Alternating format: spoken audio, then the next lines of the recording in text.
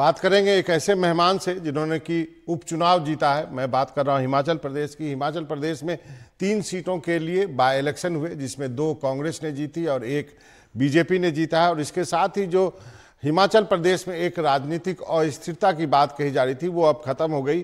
कांग्रेस के पास जो ओरिजिनल 40 विधायक थे, वो 40 विधायक अब पूरे हो गए हैं। अड़सठ की विधानसभा है वहाँ पर हिमाचल में। और हमारे साथ आपके आपको मेहमान से मिलवाता हूँ, कमलेश ठाकुर जी हैं, जो कि विधानसभा का चुनाव जीता है। नौ हज़ार वोटों से देहरा से चुनाव जीता है। और आपको बता दूँ कि ये मुख्यमंत्री जी की पत्नी है, लेकिन पिछले 20 सालों से कांग्रेस से जुड़ी रही हैं। मैडम, आपका बहुत बहुत स्वागत है एनडीटीवी से जुड़ने के लिए। पहले आप अपने जीत के बारे में बताएँ, कैसे जीती? 9000 वोटों से जीत, बहुत बड़ी जीत होती है हिमाचल के लिहाज से। देखिए जी, ये जीत मेरी जीत नहीं है। एक्चुअली ये जीत यहाँ की जनता की है। ये यहाँ पर मेरे मायका है और मेरे ये सारे भाई बहन रिश्तेदारी और सारे मेरे जो साक्षबंदी और भाई बहन थे इन्होंने सबने एक हो एकजुट होकर मेहनत की और इस बार इन्होंने मन बनाया था कि जो 25 साल से यहाँ पर कांग्रेस जो हिमाचल में सरवाइव नहीं कर रही है तो कांग्रेस के प्रति इनका विश्वास था इसमें तो अब बहुत कम लोगों को मालूम है कि आप 20 साल से कांग्रेस की सदस्य हैं। मतलब आप हैं कांग्रेस में ऐसा नहीं है कि आप चीफ मिनिस्टर की वाइफ हैं आप हैं कांग्रेस की सदस्य। जी जी हाँ मैं बीस साल से पीसीसी की मेंबर थी हम्म। पिछले बीस साल से।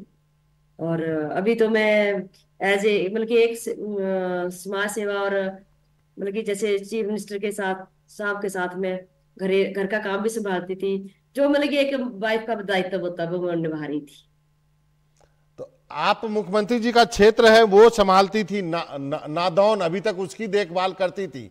तो अब अब उसका एक्सपीरियंस है आपको इसका मतलब राजनीति में का अनुभव है आपको? देखिए राजनीति नहीं करती थी मैं। जैसे सीएम साहब के सेंस में जैसे लोगों से मिलना और लोगों के काम पकड़ने या लोगों की कोई छोटी मोटी समस्या होती थी उनके लिए मैं समाधान करने के लिए तत्पर रहती थी हमेशा। मैडम देहरा की जो सीट थी वो उतनी आसान नहीं थी क्योंकि ये हमीरपुर लोकसभा में आता है और हमीरपुर जो है वो माना जाता है बीजेपी का गढ़। सॉरी हम्म। हमीर जो आपकी जो सीट थी देहरा वो हमीरपुर लोकसभा क्षेत्र में आता है। ये सीट कैसे आपने जीती इसके बारे में बताएँ क्योंकि सांसद वहाँ के बीजेपी के हैं। देखिए जैसे कि हमारी डेढ़ साल से पंद्रह महीने से यहाँ पर हिमाचल में कांग्रेस की सरकार कांग्रेस पार्टी की सरकार है। तो लोगों को पता था कि लोगों को जैसे जैसे हमारे यहाँ पे विकास हो रहा है हिमाचल सारे मतलब विकास की ओर जा रहा है और लोगों का विश्वास वो मतलब बीजेपी से उठता जा रहा है। और लोगों ने सोच लिया था कि हमारा जो यहाँ पंद्रह साल से हम पीछे पिछड़ रहे हैं तो हमारे को कांग्रेस सरकार के साथ ही चलना पड़ेगा। और कांग्रेस की नीतियों से प्रभावित, सीएम साहब की नीतियों से प्रभावित होकर लोगों ने मुझे साथ दिया और मुझे यहाँ से चुना। जब सुखू साहब राजनीति में थे ही, पति तो राजनीति में है तो आप पत्नी को आने की क्या ज़रूरत पड़ी है? और शायद आप इतिहास में पहले पति पत्नी होंगे जो एक साथ विधानसभा में बैठेंगे। देखिए, राजनीति में ना मेरा इंटरेस्ट था, ना मतलब कि मैंने ये रखा था कि मुझे टिकट मिले।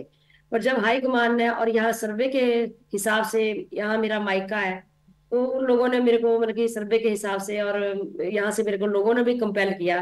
जैसे मेरे यहाँ मैंने आपको बोला कि साग संबंधी या सारे लोग थे तो वो कहते कि आप आओ और हाई कमान ने मेरे को मतलब कि आदेश दिया कि आप यहाँ चुनाव में जाइए। तो मैंने तो पार्टी के लिए हामी भरी कि पार्टी के लिए मैं कुछ भी करने के लिए तैयार नहीं, पार्टी के इस पे तो आपने हाँ कर दिया, लेकिन आपके दिमाग में कभी आया नहीं, कहीं ऊंच नीच हो गई। यदि ये सीट नहीं बचा पाए तो फिर कितनी मुख्यमंत्री जी की तो बहुत दिक्कत हो जाती। नहीं जी, ये मुझे विश्वास था। जैसे मैं दो, तीन दिन से लोगों से मतलब की बात हो रही थी यहाँ पर तो सारे ये बोल रहे थे कि नहीं, हम उन्होंने इस बार बीजेपी कांग्रेस नहीं देखी। उन्होंने मुझे एक बेटी के रूप में अपनाया और विकास के नाम पे उन्होंने वोट डाला कि हम विकास चाहते हैं देरा अब अड़सठ मेंबर की विधानसभा में कांग्रेस के 40 विधायक आ गए जो ओरिजिनल था। और जो निर्दलीय खत्म हो गए जो डिफेक्ट करके आपके पार्टी से गए थे। आपको लगता है कि जनता ने अपना वर्डिक दे दिया है इस उपचुनाव में? इस उपचुनाव में मतलब कि सामने आ गया। बिल्कुल स्पष्ट हो गया कि लोगों का जो झुकाव है कांग्रेस पार्टी की तरफ़ और कांग्रेस सरकार के प्रति और उसके मतलब की जो नीतियाँ हमारी सॉरी उसके प्रति लोगों का मतलब कि लोग उनसे प्रभावित हो रहे हैं और लोग चाहते हैं कि हमारा विकास हो। तो इस इस मतलब की तरह हम देखते हैं कि कांग्रेस पार्टी को लोग अपना रहे हैं।